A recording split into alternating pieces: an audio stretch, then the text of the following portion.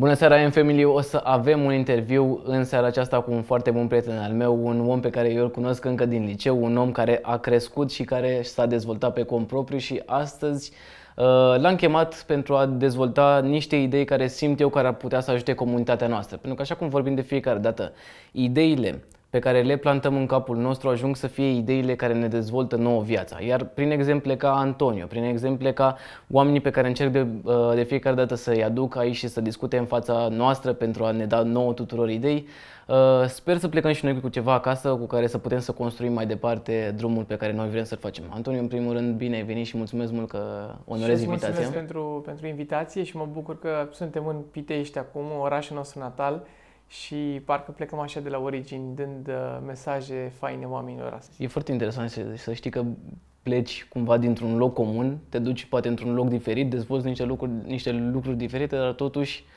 ajungi să ții legătura cu oamenii care totuși au mers poate în paralel cu tine, dar pe alte planuri. Mi se pare tare chestia asta pentru că tu ești pe nișa ta, eu pe nișa mea, dar totuși ajungem să discutăm foarte multe idei, să ne dăm seama că poate mindset-ul e același. Este același și dorința de a contribui este aceeași, cu siguranță. Și fix aici vreau să ajungem în seara asta, să vorbim despre mindset-ul cu care tu ai reușit să construiești toate lucrurile interesante despre care o să vorbim astăzi, dar înainte vreau să te descrii puțin și să le spui puțin despre tine ca să înțeleagă uh, cine ești, cu ce te ocupi, care este visul tău, care este misiunea ta și uh, pentru ce muncești în fiecare zi. Îți mulțumesc foarte mult. În primul rând sunt uh, uh tata, doi copii minunați, sunt soț, am aproape 31 de ani astăzi. Nu știu când a trecut uh, timpul, parcă ieri am jucat fotbalul uh, amândoi și cred că au trecut vreo 11 ani de atunci. Țin minte și acum și toată lumea te striga stan, stan, stan. Uh, și aia a fost ultimul, ăsta e ultimul lucru care îmi vine în minte din uh, conexiunea pe care amândoi am avut-o. Uh, mă bucur că uh, ultimii ani din viața mea au fost extraordinar pentru că am dorit să cresc foarte mult, am dorit să mă dezvolt. Uh, Astăzi, uh, din punct de vedere profesional, am uh, uh, două afaceri pe care le coordonez. O afacere în industria nutriției și tot ce înseamnă coaching și fitness. În direcția aceasta sunt și life coach, tot ce înseamnă programare neurolingvistică și neuroștiință și mă bucur foarte mult că recent am aprofundat mm, mai mult ca niciodată această lume și această industrie Uh, lucram foarte mult cu mine, lucram și cu alții, dar am zis trebuie să mă duc către next level. Și uh, de 14 ani sunt antreprenor, de 14 ani am propria afacere și uh, uh, contribui în viața oamenilor în fiecare zi prin tot ceea ce fac, prin a-i transforma, prin a-i ajuta și mental, dar și fizic, pentru că este un detaliu important de 14 ani antreprenor. Asta înseamnă că aveai 17 ani când ai început, dacă matematica da, mea este corectă. am început așa un pic clandestin la 17 ani. La 18 ani mi-am făcut efectiv actele la Registrul Comerțului și am început propriul business. Uh, țin minte și acum când am avut primul control de la ANAF, erau uimiți uh, controlorii. De fapt, au întrebat unde este Antonio Enache și le-am zis că eu sunt Antonio Enache și au zis, nu, serios, unde este Antonio Enache, că avem un control pe numele lui. În general, când ai un control, nu înseamnă că ai făcut ceva rău, ca să știți toți cei care nu aveți o afacere, înseamnă că pur și simplu trebuie să-ți verifice actele. Și totul a decurs foarte ok, dar uh, da, asta a fost, uh, asta au fost primele experiențe ca la început, dar să știi că cu a, tot ce înseamnă cochetarea într-un business a început încă de mai de mic. Uh, țin minte că la 13 ani i-am întrebat pe părinții mei dacă mă las să plec până în Italia să muncesc. Am început să râdă și mi-au zis că nu, nu se poate așa ceva. La 14 ani am început să vând parfumuri Cred că erau contrafăcute, încă n-am aflat adevărul. Aveam o geantă în spate și mergeam pe la instituțiile din Pitești și vindeam parfumuri. Asta a fost o altă experiență, se întâmpla la 14 ani. Și la 17 ani mi-am dat seama ce vreau să fac și ce credeți, de 14 ani asta fac. Și eu și soția mea, apropo, cu asta ne ocupăm, așteptăm oamenii să fie în cea mai bună formă fizic, dar și psihic. Știi ce vreau să întreb? Ce îi permite unui tânăr de 17 ani să devină antreprenor? Nu mă înțelege greșit. Înțeleg că suntem oarecum capabili și la 17 ani să facem asta. Dar ce trebuie să fie în mintea unui copil de 7, copil la 17 ani, ce trebuie să fie în mintea lui încât să zică, nu, eu nu vreau să ies în cluburi, eu nu vreau să stau să alerg după fete, eu vreau să fac business, eu pentru asta vreau să muncesc. Ce e în mintea unui om în momentul ăla?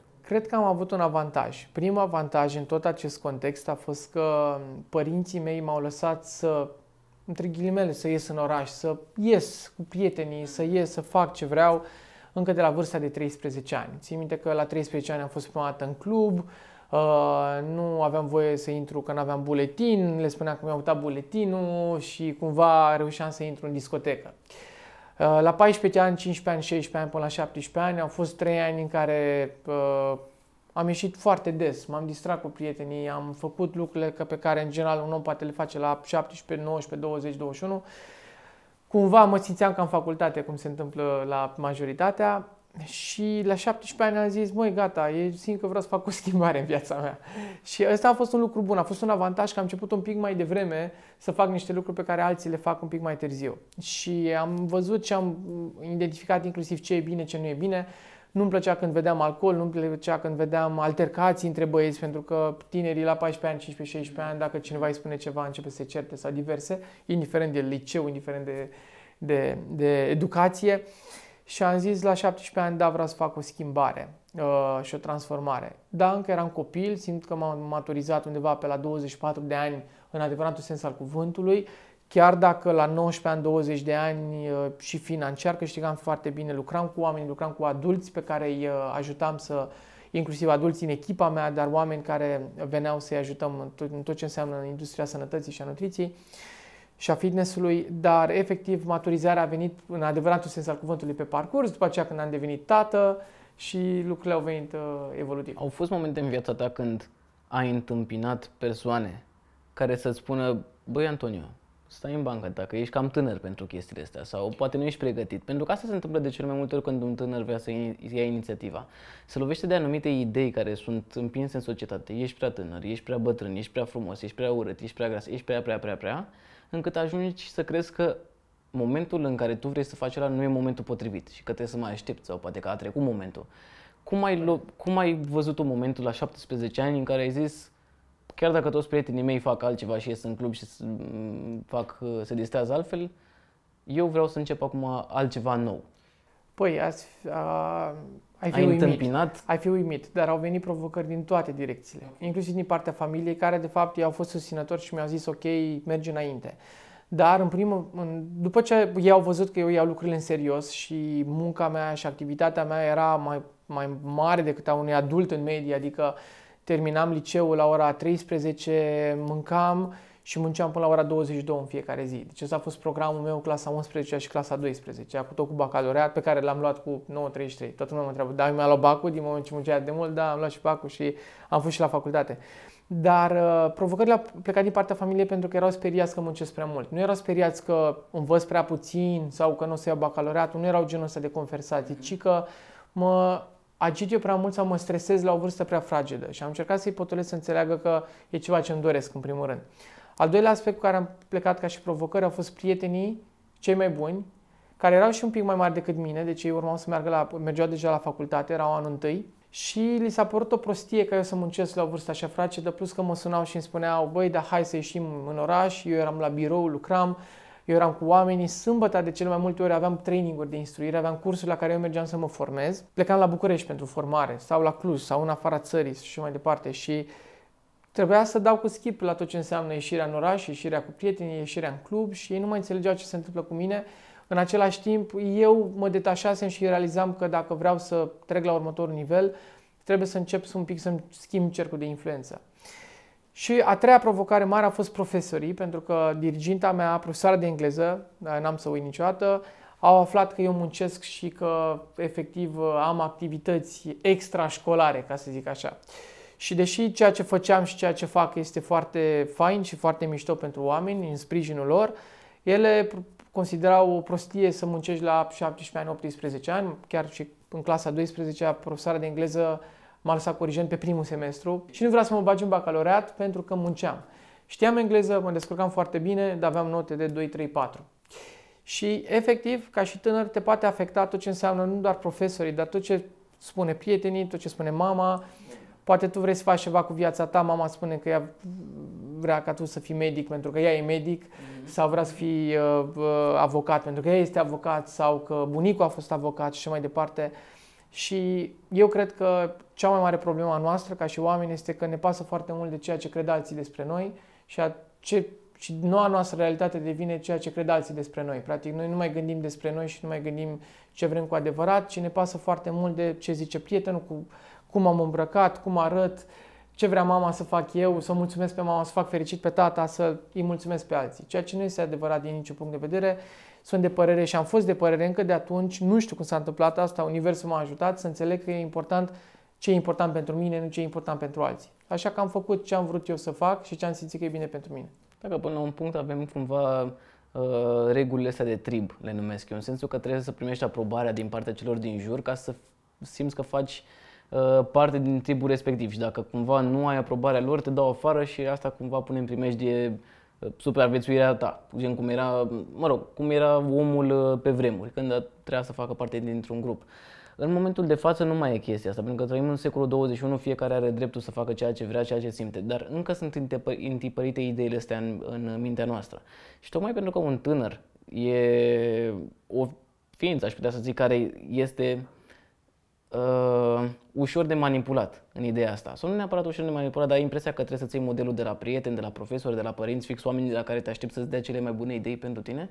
Ei sunt fix oamenii care ajung să te tragă înapoi. Și cum poți tu ca și tânăr, ai 17 ani, 18 ani, 25 de ani, habar n-am, că eu am 25 de ani, mă consider copil.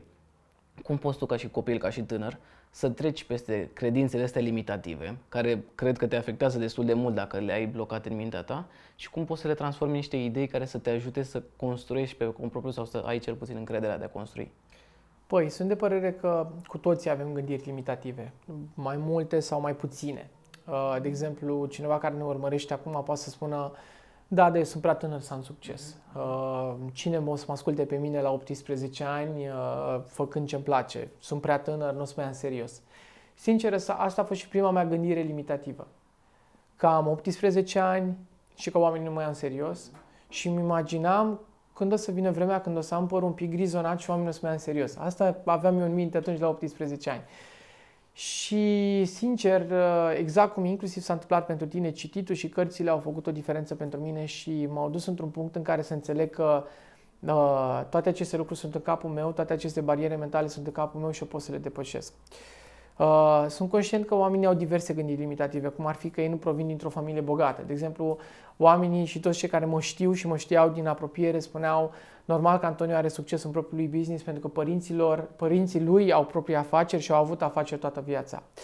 Da, am împrumutat ideea de antreprenoriat, am, am primitat viziunea lor, dar oamenii nu știu că în momentul în care eu am început propriul business, familia mea era falită și noi nu aveam bani în acel moment. Adică nu eram pe minus, uh, adică nu puteam să punem nici măcar 200 de euro pe lună deoparte toată familia. Dacă stăm să ne raportăm la ce însemna financiar pentru noi acum 14 ani. Astăzi, da, lucrurile sunt foarte ok și pentru ei și pentru mine, dar uh, în acel moment nu erau. Am avut la un moment dat și am identificat o gândire limitativă, de, de aceea am scăpat repede, apropo, am identificat o gândire limitativă acum aproximativ 3 ani de zile, când deja realizasem foarte multe lucruri, mai mult decât poate 95% din tineri din România sau poate 99%, inclusiv din punct de vedere financiar, profesional, locul în care trăiesc, viața pe care o am, modul în care cât călătoresc, relația pe care o am cu soția, copiii și mai departe. Și la un moment dat simțeam că am atins un anumit nivel care uh, îmi oferă cam maxim ce pot obține eu în țara în care trăiesc, cu familia pe care o am, că m-am gândit, deja am obținut ceea ce niciun, nici tata, nici bunicul n-au obținut, nici străbunicul până la vârsta asta aceste lucruri și m-am gândit că e cam maxim ce pot obține. Mă blocasem un pic mental. Și, uh, dar nu mă simțeam rău cu mine, dar pur și simplu am identificat această gândire limitativă și am zis, măi, dar stai un pic, nu are legătură cu țara în care trăiești, nu are legătură cu guvernul, cu taxele, cu uh, cât de sus au ajuns părinții tăi sau bunicii tăi și mai departe, are legătură strict cu tine, cu puterea ta interioară și toată această viziune am avut-o și am reușit o performanță ca în șase luni de zile să dublez tot businessul meu. Practic tot ce făcusem în 12, 11 ani, atunci 11 ani și jumătate, am reușit să dublez în șase luni de zile pentru că mi-am schimbat eu setarea mentală. Mi-am dat eu seama că de fapt n-am limite și pot să fac absolut tot ce îmi doresc și uh, indiferent de țara în care trăiești, tu poți să faci lucruri extraordinare. Poate să fie asta cumva o, ca să fac o rezuma concluzie, o asumare responsabilității versus a nu mai da vina pe alte lucruri exterioare ție? Cu siguranță. Practic, sunt de părere că fiecare este responsabil pentru succesul sau insuccesul pe care îl avem în viață. Dacă avem surplus de greutate, suntem responsabili. Dacă avem suferind de obezitate, suntem responsabili. Dacă uh, ne merge prost financiar, suntem responsabili. Dacă avem datorii la bancă, suntem responsabili. Dacă nu avem o relație bună cu părinții noștri, trebuie să ne asumăm responsabilitatea. Chiar dacă ne vine să dăm tendința și să dăm vina întotdeauna pe tot ce s-a întâmplat. Aici voiam să ajung, pentru că una dintre credințele mele limitative pe care le aveam până la 21 de ani uh, era să caut constant omul care era vinovat pentru ce mi se întâmpla mie. Și una dintre cele mai revelatoare idei pe care le-am avut a fost că, bă, poate de cele mai multe ori altcineva vinovat pentru ce mi se întâmplă, nu contest, pentru că atunci când părinții tăi poate sunt bețivi sau abuzivi sau etc., nu exemplul meu, dar zic în general pentru oameni care poate trec prin chestia asta sau poate că te-a înșelat, te-a mințit cineva, te-a trădat, uh, poate tu nu ești vinovat pentru ce ți-a făcut, dar nici nu contează dacă e cineva vinovat sau nu e vinovat. Contează că tu ai responsabilitatea de a face ceva în privința respectivă. Pentru că dacă găsești un vinovat, cu ce te ajută? Dar când îți asumi responsabilitatea, măcar atunci poți să faci ceva. Și cred că aici putem să ajungem fix prin a uh, depăși credințele limitative. În primul rând, cred că cel mai important lucru pe care oamenii trebuie să-l înțeleagă este că trebuie să-și asume responsabilitatea. 100% pentru viața lor, pentru viața lor financiară, pentru viața lor uh, și relația cu aproapele, uh, ce promovezi tu și modul în care promovezi și tot ce înseamnă uh, arta de a te iubi și a iubi pe alții și a, a înțelege acest concept, uh, eu cred că are foarte multă legătură inclusiv cu alții.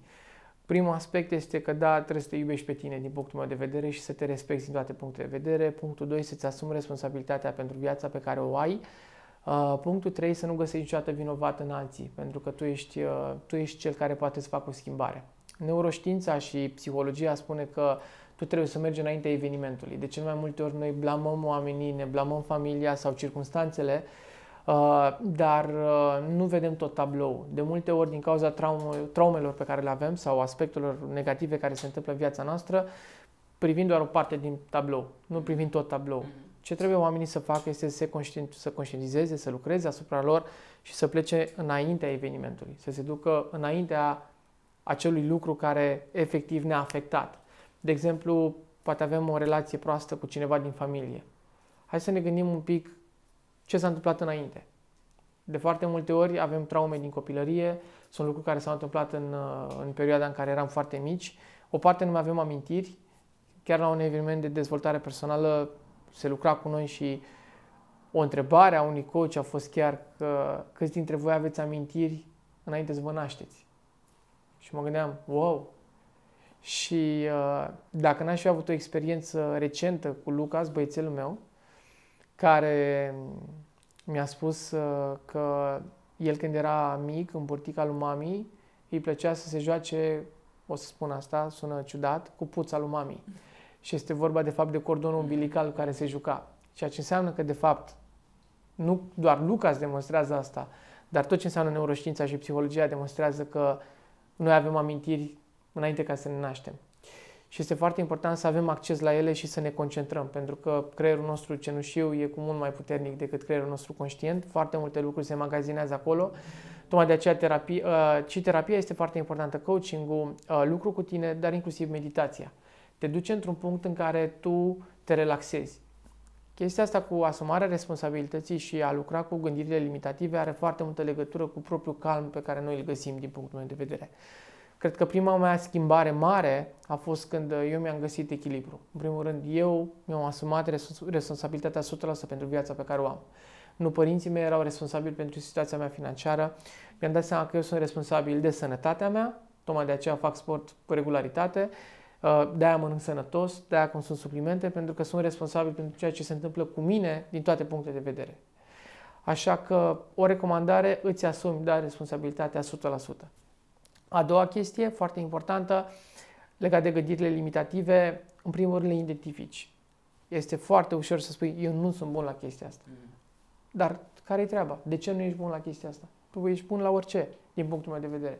Ce faci? Pur și simplu înlocuiești gândirea limitativă cu una nouă. De exemplu, dacă cineva spune sunt prea tânăr cristian să am succes la 18 ani. Eu nu pot să fac ce faci tu pentru că am doar 18 ani și oamenii nu o să mă ia în serios. Tu schimbi acea gândire limitativă cu o gândire nouă despre acest lucru și spui Faptul că am 18 ani mă duce în punctul în care am mai multă energie să muncesc decât unul care are 50 de ani, pentru că sunt tânăr, am drive, pot să fac lucrurile astea acum. Antonio nu mai are același timp, da, pentru că are doi copii, are multe business-uri, eu am tot timpul din lume să pot să am succes. Și atunci dacă tu înlocuiești o gândire limitativă cu una nouă, atunci lucrurile se schimbă. De exemplu, poți să spui despre tine, sunt prea în vârstă, poate, nu mai am timp să am succes. Am 55 de ani, ce schimbări mai pot să fac în viața mea? Dar hai să studiem un pic câți oameni au început la 60 de ani, câți oameni au început la 50 de ani. Ce au început? Au început propria lor afacere la 50 de ani, au început să creeze lucruri care au revoluționat lumea la 50-60 de ani. Așa că tot e despre ce spui tu ție și tot este despre dacă tu te crezi pe tine sau îl crezi pe piticul la rău care încearcă să te convingă că ești un fraier și că tu nu poți să faci ce trebuie să faci. Uite, una dintre ideile care mi-au rămas mie foarte bine imprimate în minte, tot la fel când am fost la un eveniment de dezvoltare personală, a fost că oamenii vor face mereu ceea ce trebuie să facă. De foarte multe ori zic, bă, ar cam trebui să fac asta, sau ar cam trebui să fac aia, sau o, poate o să încerc să fac asta.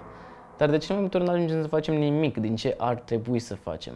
Dar în momentul în care uh, spunem, bă, trebuie să, trebuie să cer mai mult de la mine, trebuie să slăbesc 5 kg, trebuie să trebuie să slăbesc 5 kg ca să, ca să încap în rochia de ziua mea de la, pardon, în rochia pentru, pentru ziua mea sau trebuie să fac mai mulți bani ca să pot să plătesc chiria luna asta sau trebuie să, când trebuie să faci niște lucruri, deja uh, ajungi să-ți puți ție o obligație, să devii tu genul de om care să facă lucrurile de genul ăsta. Poate chestia asta să te ajute să depășești anumite bariere pe care le ai în mintea ta? Eu cred că cea mai tare chestie care se poate întâmpla în viața unui om este să iasă din sfera asta că uh, poate neapărat că trebuie, poate nu trebuie, nu trebuie nimic. Uh, dar dacă noi ne focusăm către creștere și către evoluție și eu îmi spun mie, băi Antonio, tu trebuie să mergi azi la sală pentru că trebuie să fii mai bun decât ieri. De ce? Pentru că tu te iubești pe tine, tu te respecti, corpul tău e templul tău, este motivul pentru care vrei să mergi la sală. Nu că nu te mai iubește soția dacă nu arăți la fel de bine, pentru că asta e la fel o gândire limitativă și te poți gândi la chestia asta dacă soția nu mai privește la fel. De multe ori se întâmplă în rândul femeilor să spună vreau să slăbesc pentru că mi-e frică că soțul poate nu mă mai iubește la fel de mult. Da, e important în primul rând să te iubești pe tine. Pentru că dacă tu te gândești la ce spune soțul despre asta, atunci tu deja nu ești în sfera în care tu te iubești pe tine. Dacă vrei ca tu să fii iubit, în primul rând trebuie să iubești pe tine la maxim și este un lucru pe care tu îl promovezi foarte, foarte mult. Dar uh, eu cred că fiecare trebuie să ne creștem standardele. Despre asta este vorba. Dacă noi ne creștem standardele și ne gândim, trebuie să, dacă mă gândesc, trebuie să merg la muncă pentru că trebuie să-mi plătesc chiria, versus trebuie să merg la muncă pentru că îmi place să muncesc, pentru că trebuie să muncesc, trebuie să contribui. Ce fac mă împlinește. Dacă nu te împlinește ceea ce faci, normal și nu ești într-un context de gândire cum eu spun acum, schimbă jobul, fă altceva, apucă de altceva. Știu că cineva spune acum, da mă, dar nu pot pur și simplu să-mi schimb jobul.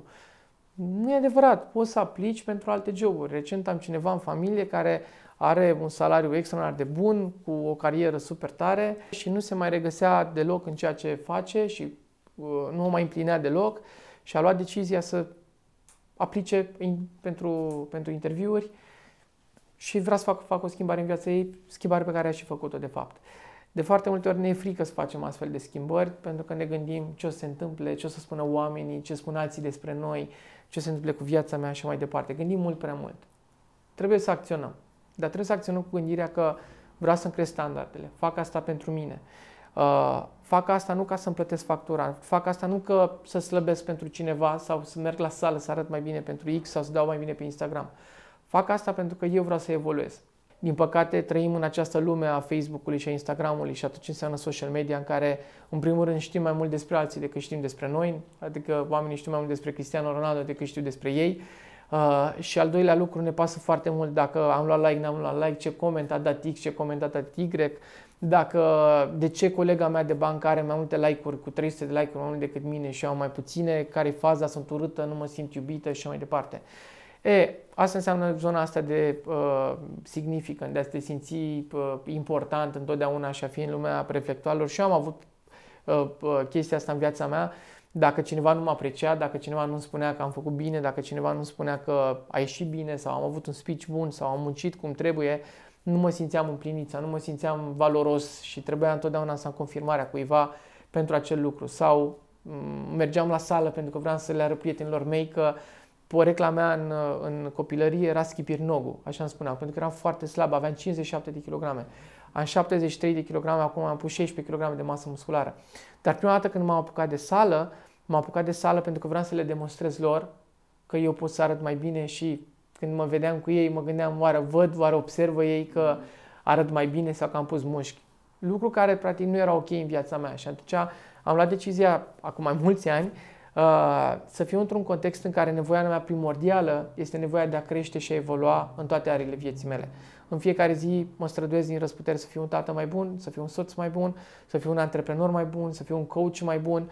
Uh, nu muncesc pentru că trebuie să plătesc grădința copilului. Dacă mă trezesc dimineața și mă gândesc la toate facturile pe care le am într-o lună, Uh, care apropo sunt multe, pentru că cu cât câștigi mai mult, te angrenezi în mai multe lucruri. Grădința copilului e mai scumpă, uh, casa în care stai e mai scumpă, totul e mai scump, totul crește, mașina e mai scumpă, utilitățile, schimbul de ulei e mai mult.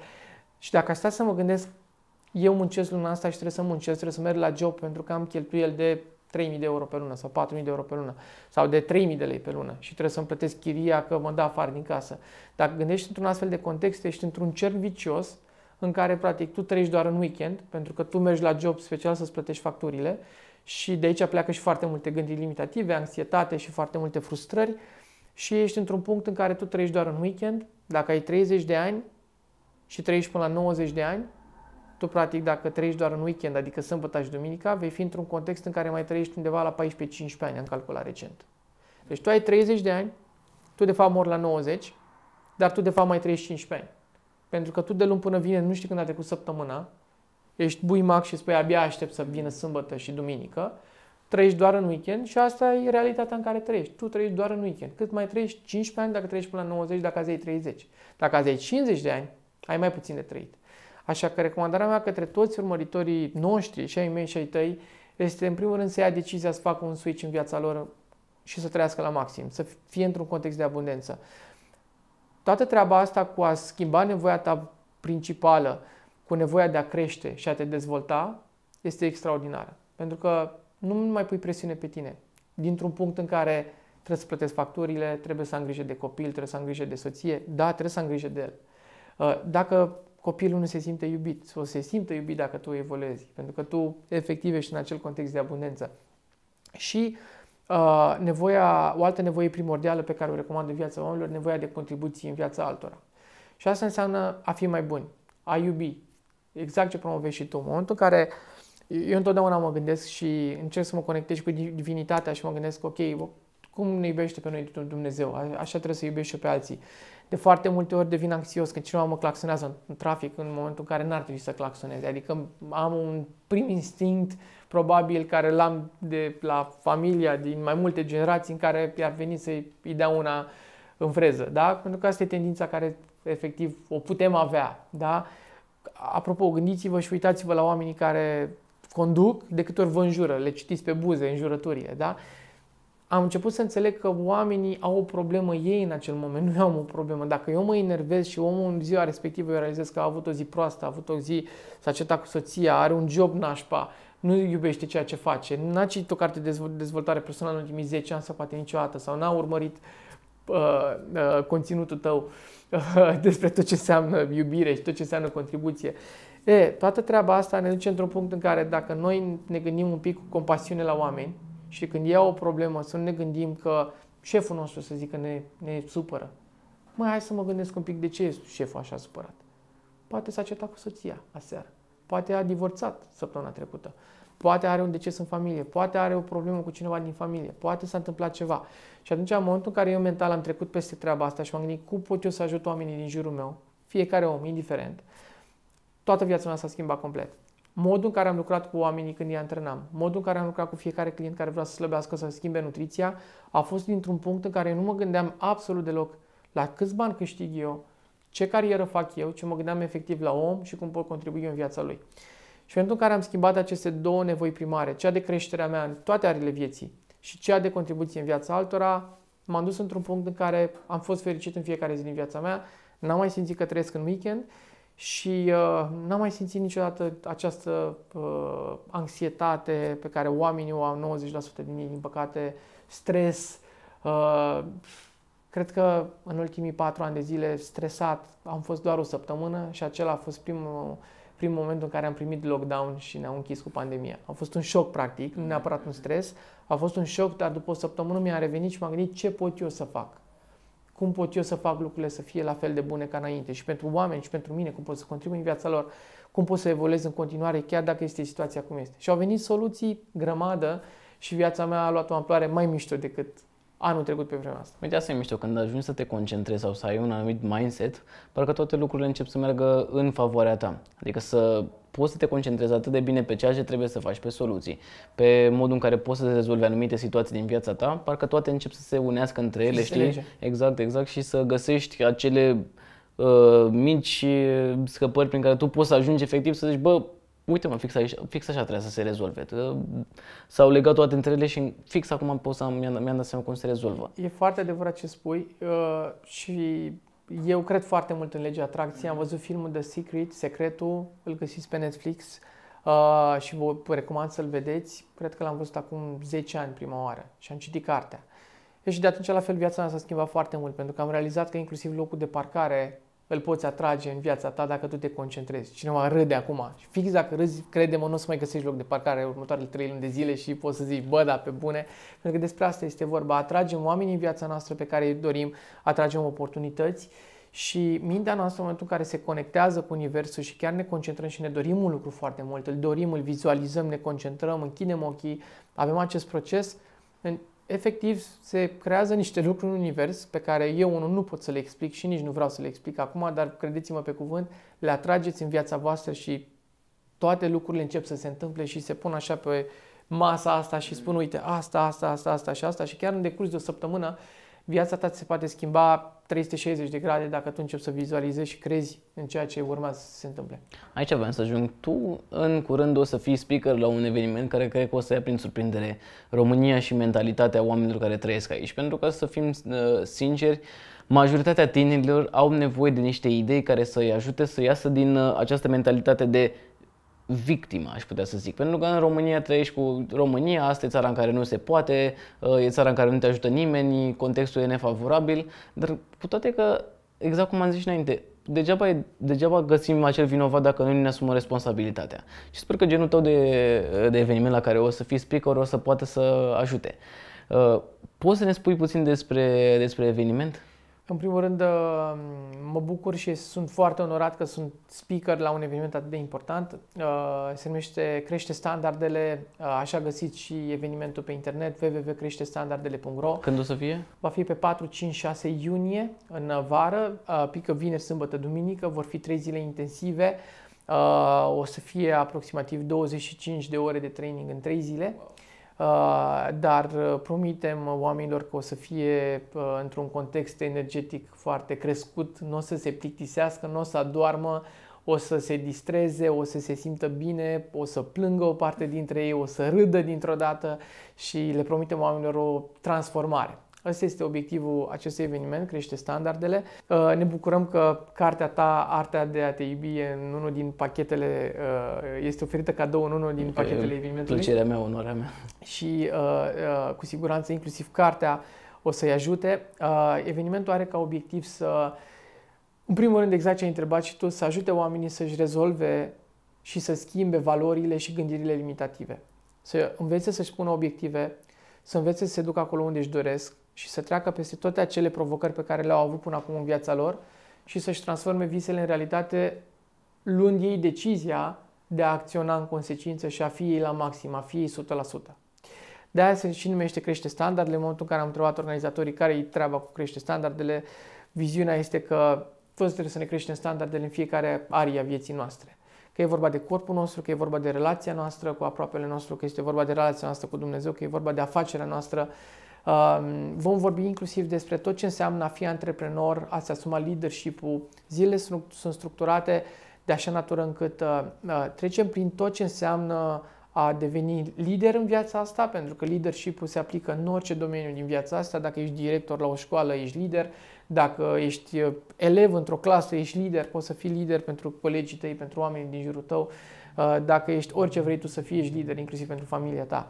Și atunci vom trece prin arile leadership-ului, arile de tot ce înseamnă neuroștiință și tot ce înseamnă creierul, cum funcționează creierul nostru, cum putem trece peste provocări, peste traume, dacă oamenii au trecut prin asta, cum le pot rezolva și cum pot merge înainte cu o nouă viață, dacă putem să spunem așa, și să șteargă cu buretele tot ce s-a întâmplat în trecutul lor.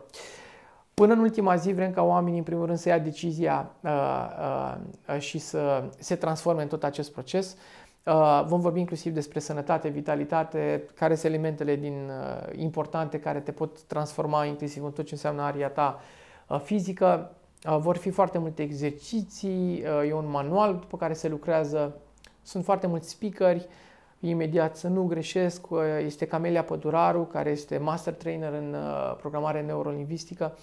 Uh, este un coach din New York, româncă, care are inclusiv o școală de coach, practic ea pregătește life coach în acest moment și este una dintre cele mai tari persoane pe care eu le-am cunoscut în tot ce înseamnă neuroștiință, creier și tot ce înseamnă lucru cu tine.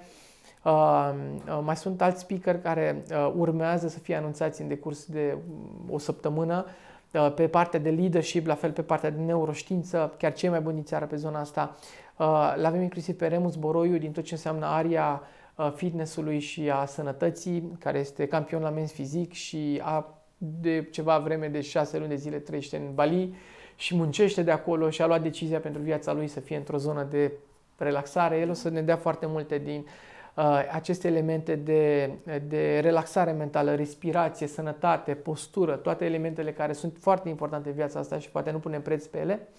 O vom avea inclusiv pe Anca Bucur, care este de șase ori campioană la Miss Fitness Univers și la fel este un coach extraordinar, va vorbi inclusiv despre nutriție, despre sănătate.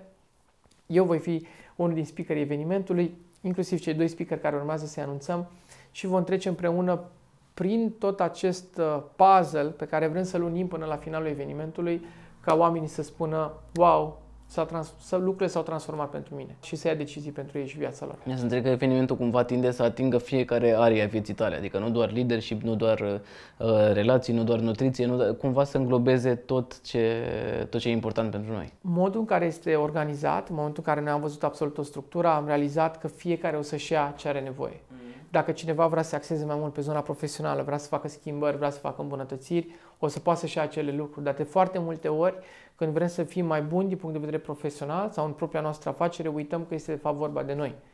Cum ne dezvoltăm noi pe noi, cum lucrăm noi asupra noastră pentru a deveni mai buni.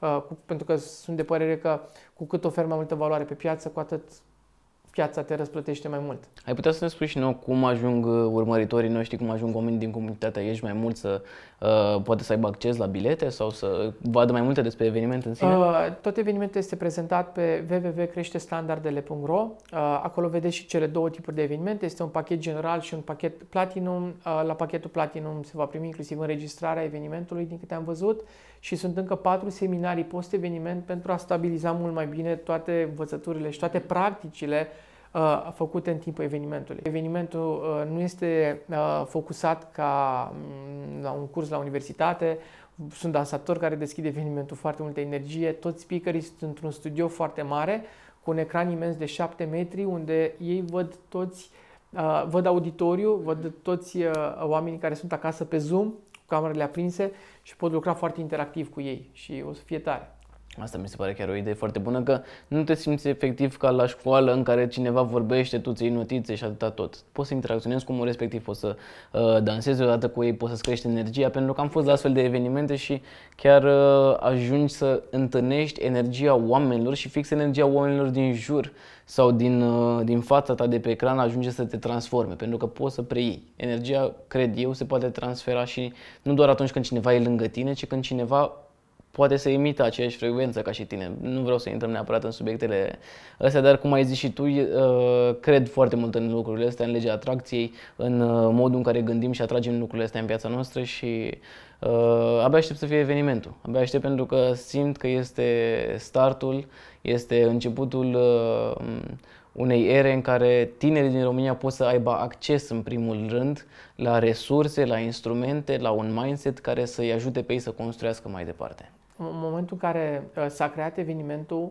uh, cu toții am înțeles că, și noi știam asta, dar cu toții am înțeles că noi putem oferi efectiv multor oameni ceva ce nu vor învăța niciodată la școală, la grădiniță, de la familia lor sau la facultate. Aceste lucruri chiar nu se învață acolo. Și în momentul în care, apropo, l avem și pe Radu Constantin ca și speaker, o parte din urmăritorii tăi poate îl cunosc, uh, este uh, inclusiv autora unei cărți extraordinare care apare în câteva zile.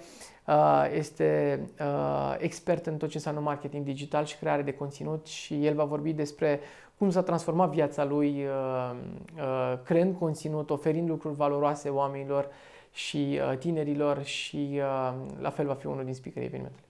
Abia aștept să-l aud pentru că am avut un interviu cu Radu în care mi-a spus și mie povestea lui, am intrat puțin în câteva detalii, dar uh, cred că aici o să aibă timp mai mult să dezvolte toate exact, subiectele are două astea. secțiuni, are două secțiuni de câte Exact. două ore în cadrul evenimentului, din ce am văzut și eu să fie super tare și eu sunt foarte curios. Dar exact ce am spus, genul acesta de lucruri și de informații și de transformări nu le faci niciodată nici la școală, nici la facultate și nu le face nimeni cu tine. Și uh, când ești cu o masă de oameni, exact cum ai spus și tu, și se creează această energie, transformarea chiar este uluitoare. Mă bucur enorm de mult că există oameni care fac treaba asta acum. Mă bucur foarte mult pentru că s-a dat drumul în social media la, la, la content valoros, s-a dat drumul acum la televizor la content valoros și acum este vremea evenimentelor. Uh, și nu-mi pare rău că e pe vreme de pandemie, nu-mi pare rău pentru că asta o să seteze pentru tine poate un, uh, un standard crește standarde, o să seteze un standard de la care tu o să depășești mult, mult, mult mai mult în momentul în care oamenii o să vadă dacă e atât de interesant să o faci în fața calculatorului, sunt curios cum o să fie când o să fie o, o sală de 2000, 3000, 4000 de oameni și cred că de acolo o să înceapă să explodeze efectiv.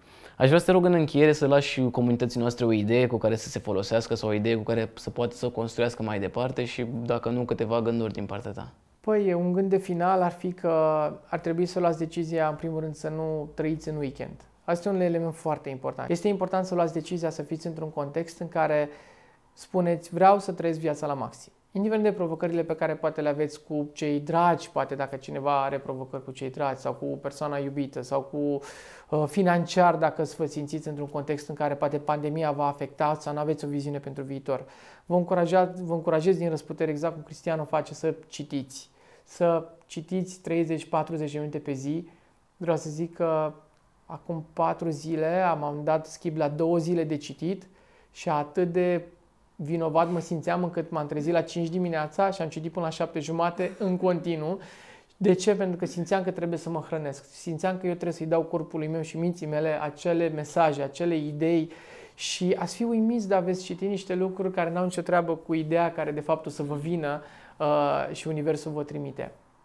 Așa că luați decizia să nu trăiți doar în weekend, exact cum am spus, uh, trăiți la maxim și transformați visele voastre în realitate pentru că este posibil. Dacă eu am putut și voi puteți, dacă Cristian a putut și voi puteți, cu toții suntem oameni, avem două mâini, două picioare uh, și uh, Universul ne-a lăsat și Dumnezeu să facem lucruri extraordinare în viața asta, nu să avem o viață mediocră. Asta cred eu. Cu siguranță. Fiecare suntem speciali, cu toții suntem speciali și cea mai bună decizie pe care putem să o luăm este să înțelegem că da, suntem speciali și da, putem să facem lucruri extraordinare. Să ieși mai mult, asta înseamnă că fiecare dintre noi are ceva în interiorul lui care trebuie să iasă la suprafață.